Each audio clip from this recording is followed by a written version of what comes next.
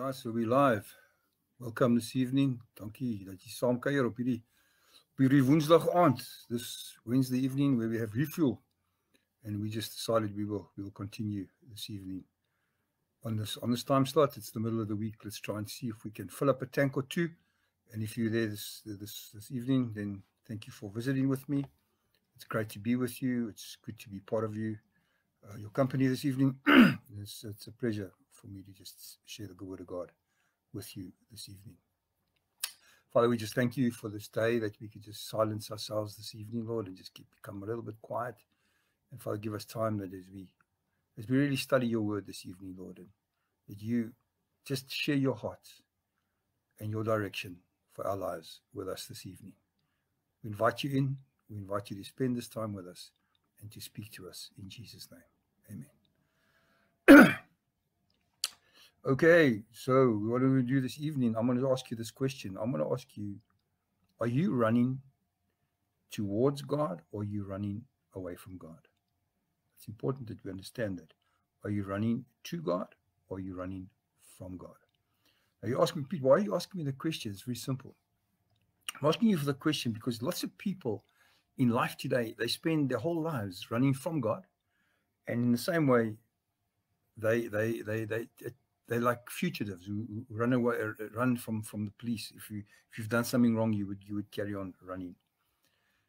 They people, a lot of people are convinced that that God is just there just to just to get hold of us, to to after us. Them, they don't want to face God. People don't want to really face God. Um, they don't want to talk to God. We have this this privilege and the honor of speaking to God. We don't want to talk to God. People don't even make time to think about God, and um, it's it's very very it's very sad because God has has this for us, and um, and and and He wants to spend this this precious time with us. He doesn't want us to run away from Him. Do you think a lot of I've heard people say that I'm not ready for this. This is gonna, you know, this this this lifestyle is gonna is gonna cramp my style. So what style do we have? If if that's gonna cramp your style, what what what what do we have? What what is in your life right now when you when you come to to worship God? You, where do you find ourselves this evening worshiping God? Is it are you are you are you doing the will of the Father or are you doing your own will?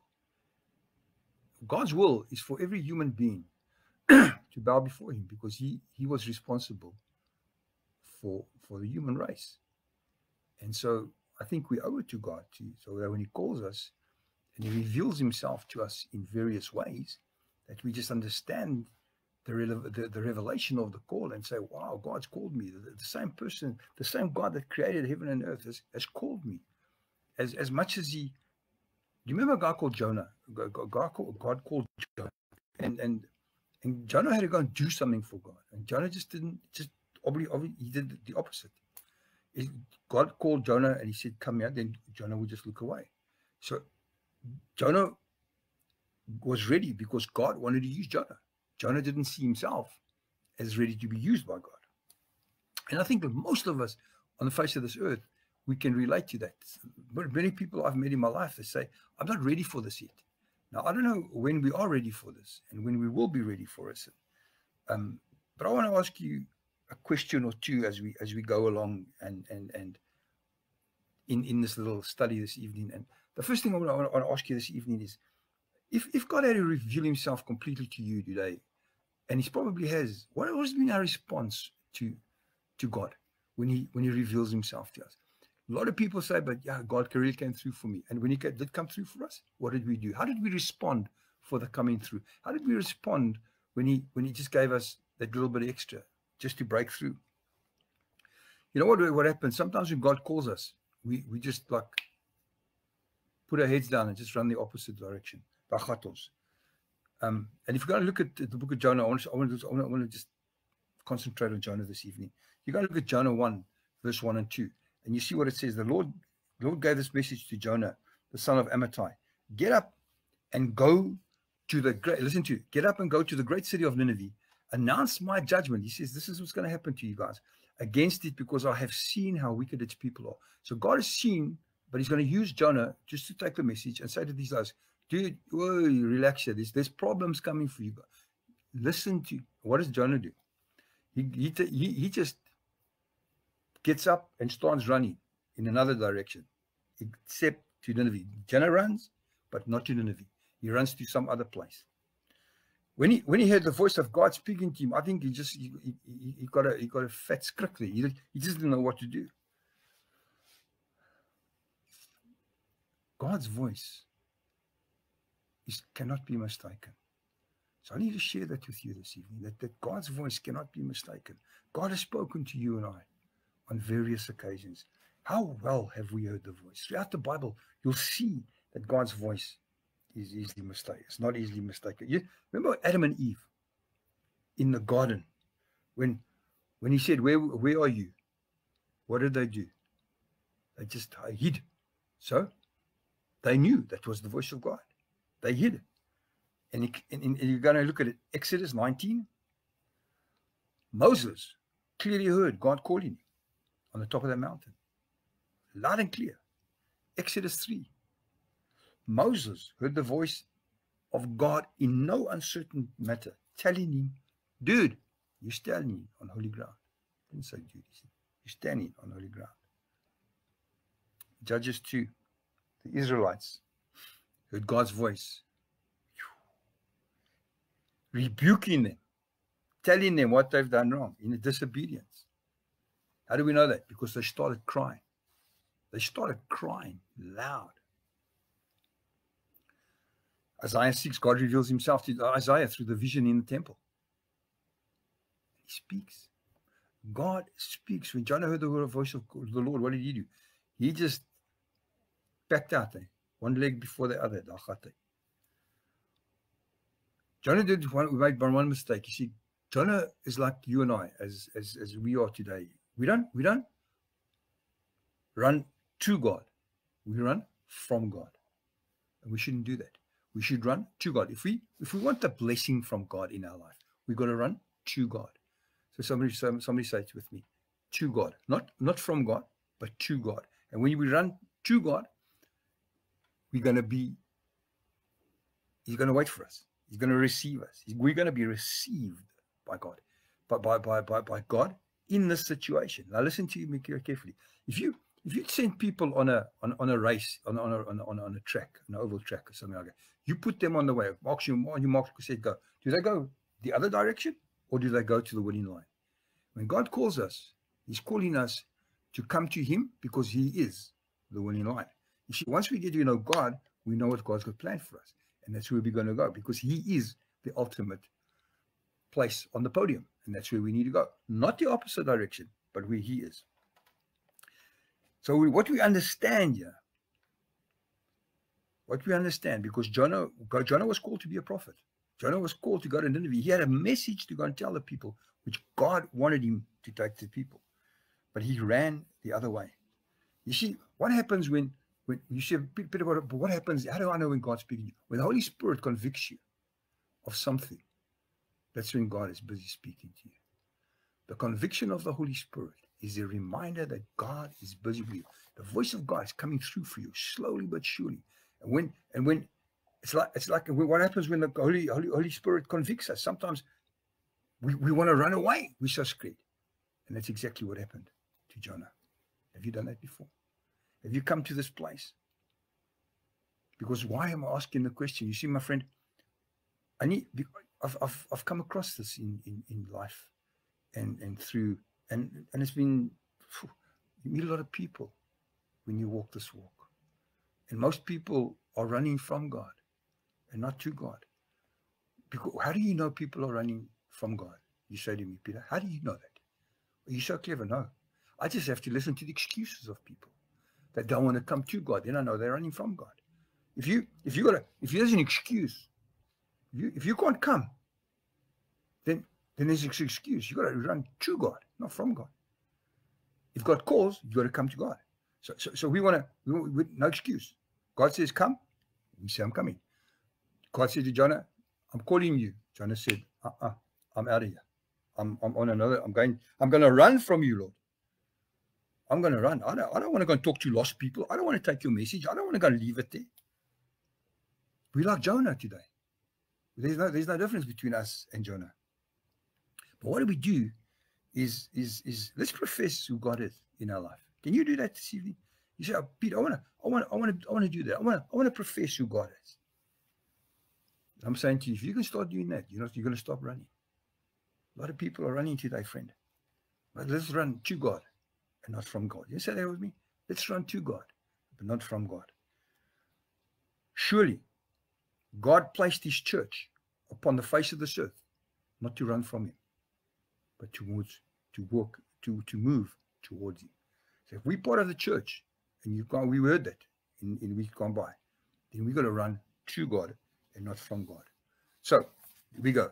If, if, if God's Holy Spirit is working with you and I, convicting us of something we should be doing, but we're not doing it, let us catch ourselves this evening and say, Yo, hey, kom ek raak stil. Kom ek weet waar ek is. Kom ek hou op hardloop en kom ek draai na die gesig van die Here toe. because you see, as soon as I turn to God, Holy Spirit sees me and my heart starts going into action. My heart starts receiving the conviction of the Holy Spirit. And there's, there's, a, there's an action that starts taking place. Sometimes it could be painful. Sometimes that the conviction of the Holy Spirit is telling me that I want to use you, dude, but there's some things here we need to sort out first. I, I need you to come to me, but you haven't made that final decision to follow me full on. And so there's pain that goes with that. And so we must get to this place where we say, but how am I going to find that out? Stop running from God. We got to run to God and not away from God. So we don't, we don't want to be like Jonah. Jonah, Jonah if Jonah carried, carried on running away from God, the people of Nineveh would never ever have had a chance to redeem themselves. If we keep on running away from God, we're not going to have the full on chance of redemption in our life. We're not, we're not going to live that convicted life that God wants us to live with Him under the working of the Holy Spirit in our life. So God's love and Jonah's hate caused that caused an inconsistency because God loved and Jonah didn't want to do. So there was a they, they were they were they were team team tagging. But the only problem here was the one team went that way and and God stood stone and his teammate just I'm not part of this team. He kept on pulling away. They said to me, How do I change? It's difficult. I say to you, I know. It's, I know. Been down that road, for friend. Been down that road. Change is hard and it's painful. You want to write that down? Change is hard, but it's painful. So if you look at today, if, if you look at life today and it's democrat, this this world has never been, except probably in Bible times. But now it is it's upside down. There's no place to pack it right right now. Every person is on his own tangent. Every person believes what they want to believe. Every person's got a, a, a solution to the problem. The world is, is so chaotic at the moment. Only God, my friend, can fix it. Hear that from me this evening. The chaos in the world can only be fixed by Jesus Christ. And so, therefore, we must stop running and come towards the altar. We need to come into the holiness. We need to understand why God created this earth and, and place in the first in the first and, and and start taking back because the enemy is having a field day in this world right now. So let's let's let's put ourselves into position and say we want to be like little Jonahs. We want to start taking it, taking this message and and floating around and finding a place. How can we get there? And establishing the, the kingdom for God. Let God establish himself in us and we go out and we establish the kingdom for God. Isn't that what you want to do as a Christian person? Is to help somebody rather than just, guys, let's stop running. Let's come. You see what happens when we run from God? I want to tell you something this evening, which is so important. And you can write this down and you can put it in your Bible, put it everywhere. When we run from God, there's something that you and I must understand. We will not escape. You said to me, You clever? Oh, no, no, I'm not clever. Not at all. When we run from God, we will not escape. The Lord, the word of the Lord has come. And Jonah had no doubt about that. Jonah knew what God wanted him to do. The word of God came. And Jonah knew what he had to do. Check it out with me. third, third verse, first chapter. but Jonah got up and went the opposite direction in order to get away from the Lord. He went down to the sea coast, to the port of Joppa, where he found a ship leaving for Tarshish. He bought a ticket and went on board, hoping that by going away to the west, he could escape from the Lord. Ah, ah. God said, Jonah, go to Nineveh. But Jonah decided, I'm going to do something else. The sun's coming up in a different spot for me this evening. That's where I'm going. How many times is it possible for you and I to look into the faces of lost people and see potential, see leaders of potential amongst this place? But the only thing lacking is the cause of Jesus Christ. there was such a man in the Bible. He was called the rich young ruler. The rich young ruler. He said, Good master, what do I have to do to inherit the kingdom? Eternal life. And Jesus said, Keep the commandments. And he said, I've done that. It doesn't sound like we do. I've done that. Jesus said, One thing you lack. Go and sell everything you have, give it to the poor, and come follow me. The Bible says he went away because he had great wealth, but he was also sad. Close, almost saved, but not saved. Committed? No, but wanted to, going to, but. It makes no difference what follows the word but. The word but is in between what we need to do and what we have to do. If it's there, but takes you away. If you're going, but keeps you here. If it's there, but you go in there. If it's yes, but no. So, but is not very positive in most instances. So, the word but is a response to God's word. Checkmate. That's exactly what it is. When God speaks and you're doing the difference, God called, but we turned away. God said, go, but we were too busy. God says, yeah, but we looked there. But it's not a good word when it comes to listening to the to, to God's word. God's word is, is there for you and I to go, to go and live out. God's word is there for you and I not to, be a butt person. Goat's butt. Top. We're not supposed to be that person. But what happens when the tables are turned one day? What happens if God stands before you and I and he says, Peter, I had this plan for you. And he says, This is what you were going to do. This is what you're going to become. This is what. And you stand there and you got to, you have this opportunity of listening to God. And God doesn't let you finish the sentence. He says, I wanted to give you all this. I wanted to take you there. I was gonna, I was gonna open that door for you. And you're saying, Wow. And he says, But you went the other direction. How sad will that be? I called you in, but you turned my back on me. You were too busy. I said, My spirit convicted you and said, Pray, son. Pray, my daughter. I'm listening. I'm waiting. I can see the conviction. The conviction is there. I'm listening. I will receive you right now. But you heard something else your, your mind was taken, your spirit sagged, and you walked away. And I couldn't receive you.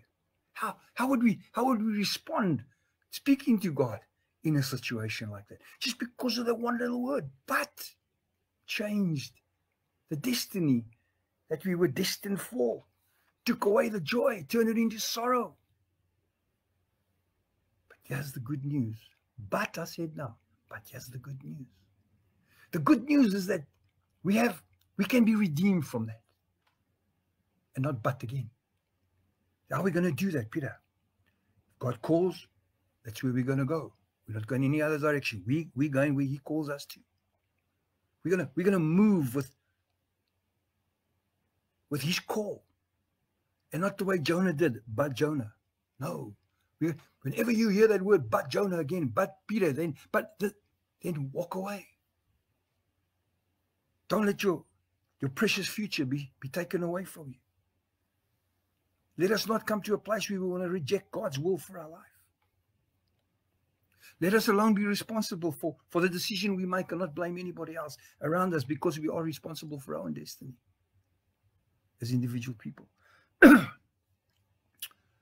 You're responsible for your own decisions, friend, as much as I am for mine. And Jonah was for his. Jonah just got up and he went the opposite direction. It was his, his call to go the opposite direction. When the word of word, when the word of God comes, shouldn't we just bow down. Jesus bowed down in Gethsemane. And he didn't say, I'm not going to do this.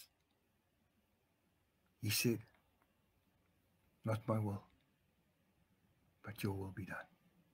He could have got up, walked out, could have just walked away from everything. But he didn't do that because it was the will of the Father that he had to do. And Jesus, his will for you and I is this, is that we would be called and that we would go and that he would send us. Have you, have you, have you, have you risen up, walked away? Jonah, Jonah did that. Jo Jonah did that. Let us not do that. Let us not be like, like Jonah. Because the Bible tells us one day every knee will bow and every tongue will confess that Jesus Christ is Lord. Let me put in the word but quickly. But for those, but for those who heard and didn't walk away, there was redemption there was salvation. Isn't that what we should do? Is that how we how we should embrace this running to or running from God this evening? Isn't that what we should do as and just embrace it this morning and stop right there where, this afternoon, right there where you are right now. And let me ask you, after this busy day, after this world that's gone absolutely ballistic, after all the news, after every every piece of social piece of social media that's still stuck in the mind somewhere, there's a little piece stuck here and a little piece stuck. Or just this just calm down quickly.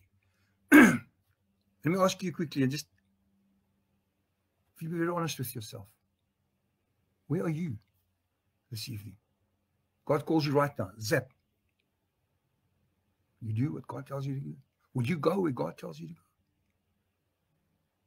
You got will you stop doing what you do right now? The problem is, you know, God says, this is something else for another day, but I just want to just give you a little little hint of it. many, many years ago, God said this thing to me, Peter. He said, Pete, never forget where you come from, my son. And I think a lot of people have. That's why we're in the turmoil we are at the moment. So I'm busy working on, on that right now. Where should we go to, to feel better? Doesn't have to be the bad places. Could be the good places. Doesn't have to be, oh, but I've got to unwind, man. well, only unwind. And unwind in such a way that you don't, you're not a disappointment to your creator because he's called you and he wants to send you on a on a mission. Oh man, how cool is that? God wants to send all of us on a mission. His children, He wants to send us on a mission. He wants us to go on a mission to show the world what, what He's all about. We can just talk to people. But He wants to send us on the same mission as He sent He sent Jonah on. Because Jonah had to go and tell the people, hey, dude, whoa, stop what you're doing. Your oaks are out of hand here.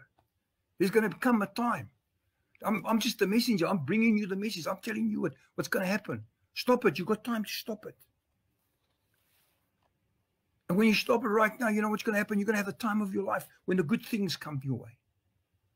And that was why he called Jonah. So Jonah could just take the thing and, and go and he say, he said, but I can just walk away. I tell you, you can't. The Spirit of God is everywhere. Psalm writer says it in Psalm 139, verse 7 and 8. He says, I can never escape from your spirit. I can never get away from your presence. If I go up to heaven, you are there. If I go down to the place of the dead, you are there.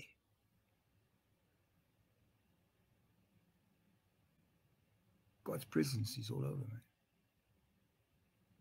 All over. You can never escape from God by running.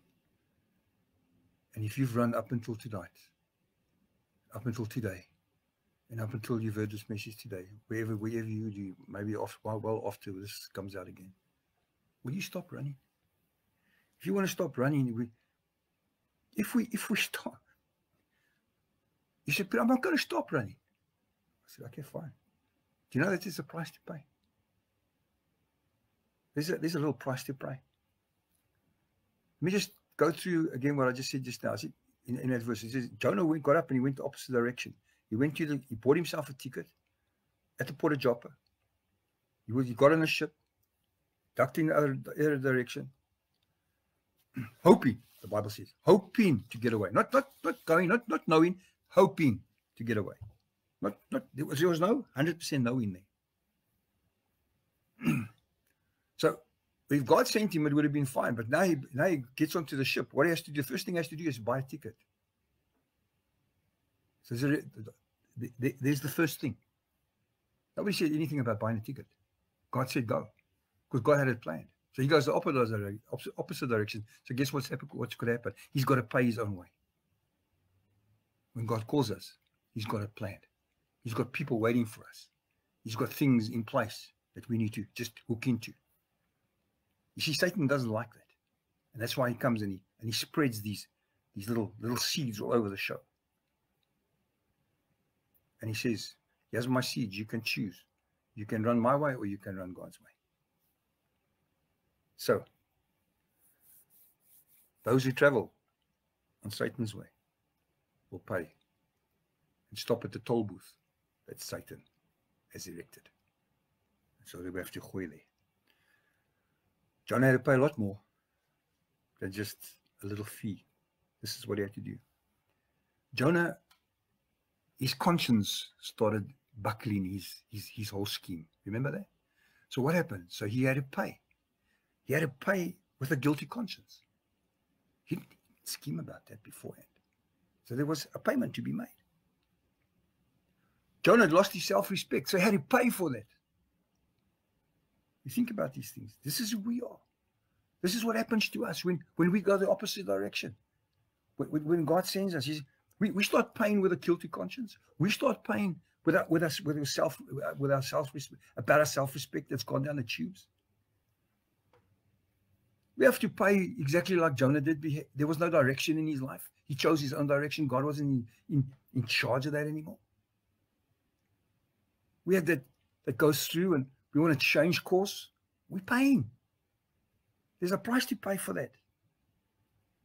And that price is a constant realization that, that, that he was on the run away from God. I don't want to be on that road. I, don't, I doubt if you want to be on that road about paying on, on a constant running away from, from, from your maker, your creator. We don't want to be there because he hasn't sent us there. And I want to just say this and we've got to remember that, that when we run, there's no calm seas, it's stormy water, man. There's no calm seas, it's stormy water. There's winds that blow up these storms, toss us out of direction, take us where we want to go.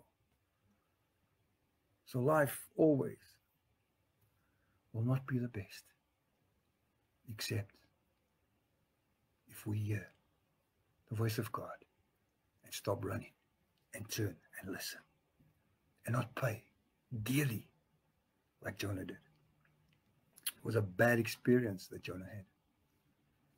Very bad experience. Somebody said, bad experience, Peter. It was a bad experience from start to finish. Things didn't work for him, man. Remember, he ended up in darkness, in the belly of a of a giant fish. Not so lucky inside there. Ooh, and you just hear blah, blah, blah, echoing all those all through the spot there. Nobody to talk to, no candle to burn, no lamp, dark. Piece of bullshit going this way and another thing going that way. It's not so cool. And he knew. I'm lost. I'm actually lost. What was it like for Jonah to run from God? It was something like this. It's like we would we would end up and we were going to the office of a travel agent and we'll say, I want to take a trip. I want to take this trip and I don't care where to, I don't care how, how, how long it takes. I, I, I just want to, I just want to go on this trip. So the clerk looks at you and he says, but where would you like to go? Anywhere. Doesn't really matter. You see, I'm, I'm sort of mainly interested in just getting away from myself for a while. getting away from yourself for a while. That's how confused people get. How ridiculous is that? Trying to escape from yourself. You can't escape from yourself, friend. Ons kan maak wat ons wil, ons is net die ons kan nie van onsself weghardloop nie. Hear the voice of God calling you because he's calling you to him. His comfort there. There's comfort there. There's not turmoil, there's no storm. There's comfort there. Don't run. If you're running from God, I want you to stop this evening. Stop where you are and turn to God. Because everywhere you'll turn, God will be there. It's ridiculous, but He's going to be there. Can I ask you, have you ever heard God speak to you? Have you ever, somebody maybe ever, people came your way to want to speak to you about Jesus? You just like hoid them away. That's what God's sending His people to you. God speaks to us in, in, in various ways. God's calling us to this evening, as, as, as we are this evening. He's calling us to, and we've I don't know how many people are listening this evening, but, and how many people will look and see, view afterwards, but it's irrespective. I'm not interested in that. I'm just saying, dude, if you're hearing what, he, what he's saying this evening, there's, there's some task that, that you as an individual watching this, looking at this this this this outline on the screen here. Look, saying inside of you, there's a there's a little task that you need to perform for God. Something that you need to go and do for God. And you say, I don't know what it is. You don't have to know. He's going to tell you because he wants to speak to you. And he wants to change your direction. He doesn't to stretch you. He just wants to hold you. And he wants to guide you. What is that, Peter? I say, That's the revelation. There's a new thing being revealed in your life. There's a there's a there's a there's something in you too, which is which will be revealed to you. Don't run from that revelation. Run to that revelation. And that revelation is the arms of Jesus. That revelation is, is a life that probably we haven't heard no up until now. That revelation is the acceptance this evening, the acceptance right now, the acceptance of you and I hearing the voice of God and running to Him, hearing the call and coming and saying, I bought a ticket, but I'm not going to use it. Where do you want me to go, Lord? What do you want me to do? Where do you want to send me, Father? That's the, that's, that's the direction I want to go. I'm not going to be told by the world where to go. I'm waiting for your call. Call me, Lord.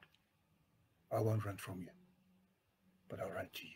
Let's pray. Father, we just thank you that you spent time with us this evening, Lord.